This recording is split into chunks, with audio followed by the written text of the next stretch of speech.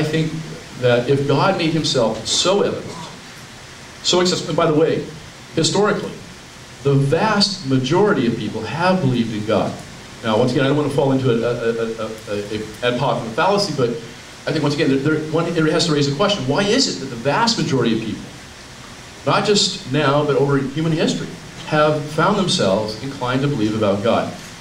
I would suggest to you that, and, and, and to refer specifically to Christian theism, I think the reason is that God made himself so obviously evident to everyone, then everybody would be compelled to believe him, whether they were righteous or unrighteous. Uh, and so the Adolf Hitlers, the Saddam Husseins, all those people would be compelled to, to, to worship God. And once again, that's not what God wants. And so I would argue that what he wants is people who seek, seek after him. So, by the way, uh, that Hitler was, um, Hitler at least pro proclaimed to be a Christian, just to... Well, yeah. Uh, they're at the back row.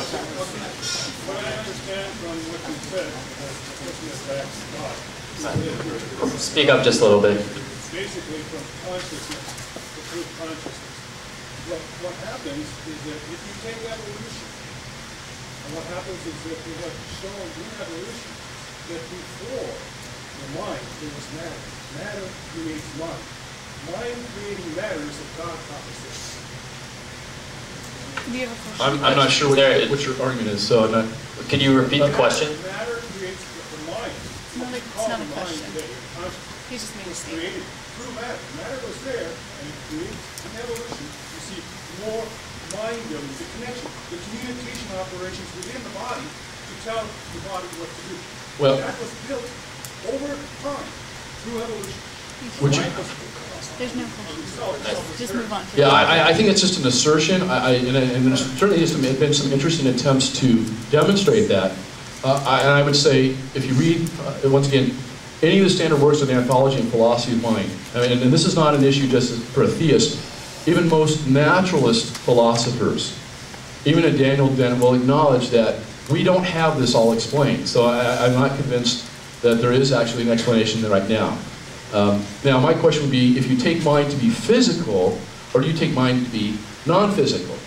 And once again, if you take mind to be non-physical, you still have a problem, and that is, how does, how does a non-physical mind, how can that be explained in a strictly physical world?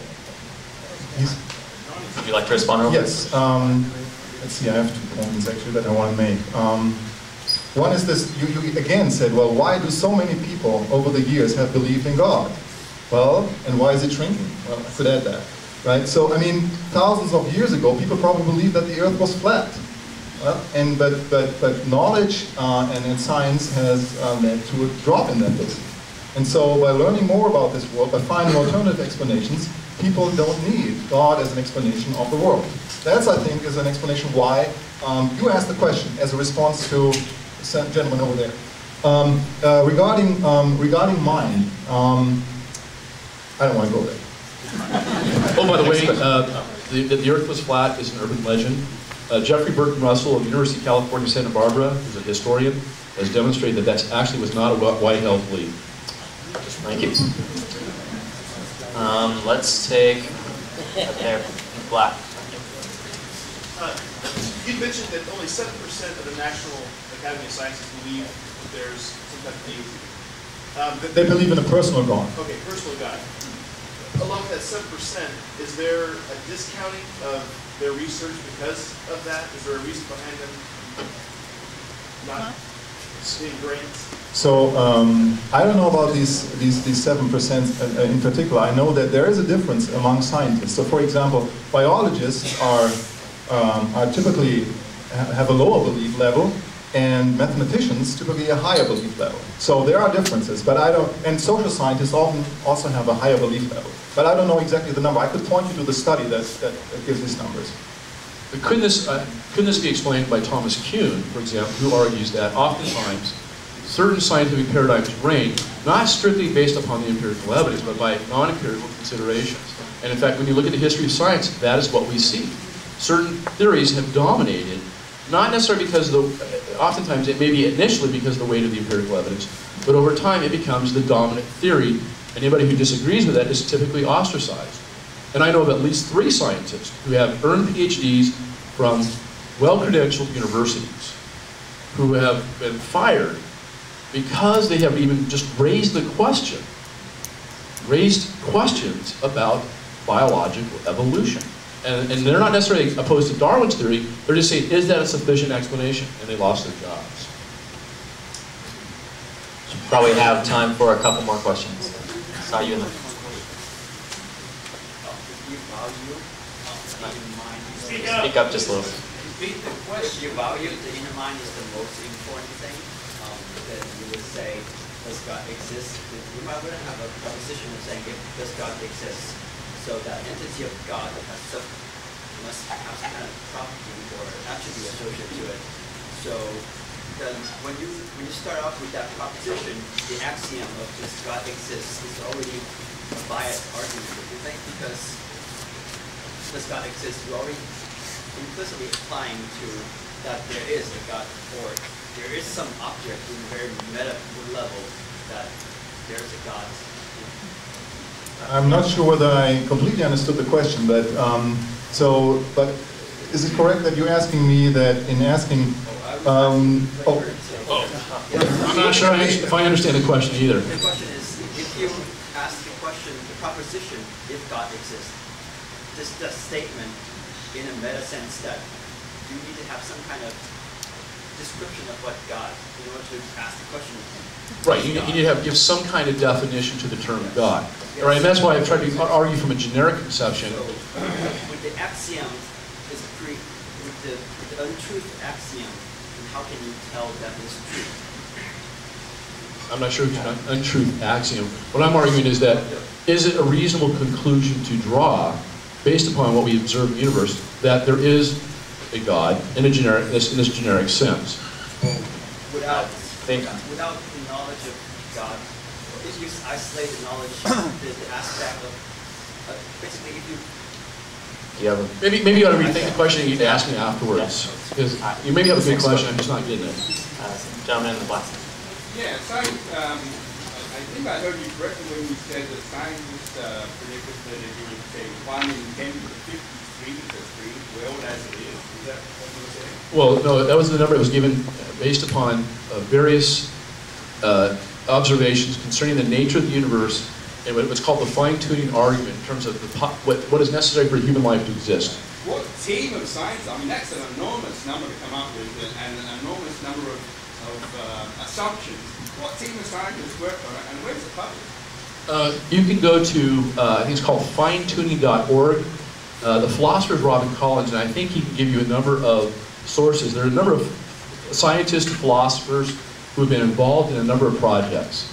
Uh, but that would be, I think it's finetuning.org would be where you want to go to look at that. I mean, I have to say one thing. I mean, this, this came up now twice. I mean, there's, there, there are also other explanations for that. I mean, there's this so-called anthropic principle, and um, there are physicists who, who think about um, evolution of universes um, uh, that, that could explain um, how this particular universe came about. So um, this is really a, a, a very speculative um, uh, area. So, and I, again, I don't think how, I don't see how that is an argument for the existence of God. I, I, I don't see it. That, that was my point actually. Uh, I think it's too much can move on to the next question. One in the blue. You said that uh, a designer has to be as complex as possible, so there's no supreme being that can be able to handle a complex world. No, no. What I'm saying, what I was saying is, um, so the question was um, that because there's um, a, a designer has to be as complex as, as, as the thing that he has designed, that I was saying that therefore it, it, it couldn't exist. I'm, I'm turning the argument that the universe is too com- complex uh, to be and, and um, to come into existence by accident. Therefore, we need a designer who did it.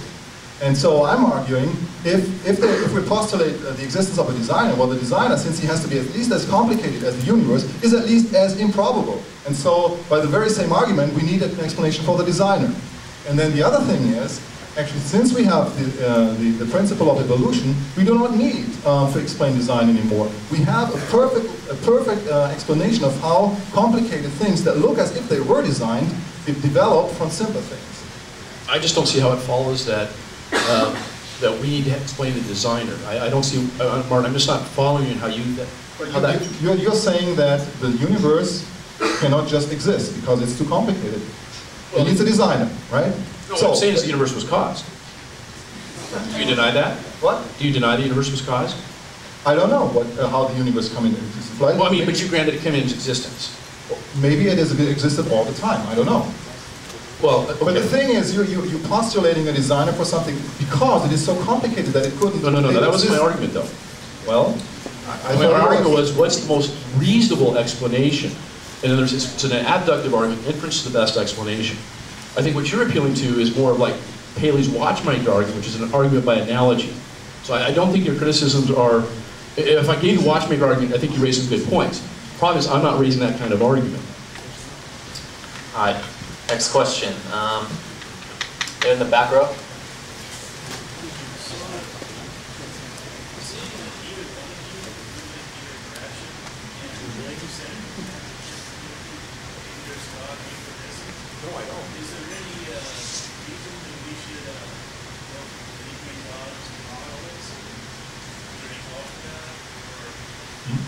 Okay, so the question was, since I said, well, we can't prove uh, existence and we can't prove non-existence and there might be 50-50 chances, is there any reason we should switch if we are believers right now? Well, first of all, I didn't say that the chance is 50-50. I think the chance is more like 99.99999 for, for non-existence and very, very, very, very, very small for existence. That's the first thing. And so why should we switch? Well, we should believe things that are true and not things that are not true. It's just uh, better for us. And uh, why, why, um, why should anybody switch and not believe and, and, and drop religion? Well, that's a whole other debate we have to have some other time, whether religion is useful and good for the world. I think it is not. So, and, but I don't think we have the time to go into this. Here in the front row? Hi, just real quick. Um, you mentioned that uh, the universe was, was very improbable. You cited some massive improbability number, uh, older than the, more than the number of seconds in the universe. Um, now, this is something that's already happened. Uh, much like the fact that I had breakfast this morning. The fact that I had breakfast this morning, if you want to put a probability figure on it, that's one, one to one. I did have breakfast this morning. Um, the probability of my having breakfast tomorrow is more unlikely. There's a chance that I couldn't have breakfast tomorrow. So, Yeah, Why? well, well, Well- I think, yeah, one, one, I did not say, the number was not with respect to the universe coming into existence. right, the, the, What I'm saying is that, what was the probabilities, given the, the conditions that we know that are necessary for biological life, specifically human life, to survive. That's what, that's the number that that was based upon. so, but- Let him answer the question. Yeah, go ahead. sorry, But- so, so if things, so you're saying that uh, it's incredibly improbable that this would happen. So you're saying that if things were different, then it, they would be different, and that's a proof of God? Well, no, what I'm, what I'm arguing is this, is that the necessary conditions that we understand, this is not an argument from ignorance, this is an argument from what we know. All the necessary conditions, to give one example, the temperature range of the Earth, based upon the distance from the sun, the axial tilt, the rotation speed, all those variables that we know, we have a pretty good idea what a, a what the temperature range would be in order for biological life and human life to survive. And what we're saying is, if it's just based upon probabilities, it's a highly, highly improbable event. So the question then is, I'm not, and once again, I'm not arguing, therefore God exists. What I'm saying is, what's the most reasonable explanation? In other words, and I used the example of the lottery. If somebody, if somebody had, if a highly improbable event, and, and here, if you're interested, William Dembski, I think, has done some great work on this, in terms of, it's not just the improbabilities, it's the specified complexity. Just like the analogy going back